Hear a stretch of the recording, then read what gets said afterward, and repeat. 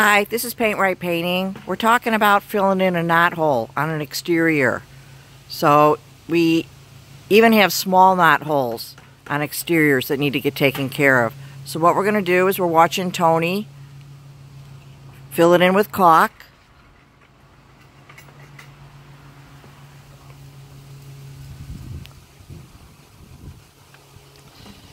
After he caulks it in, he's going to scrape it with his blade.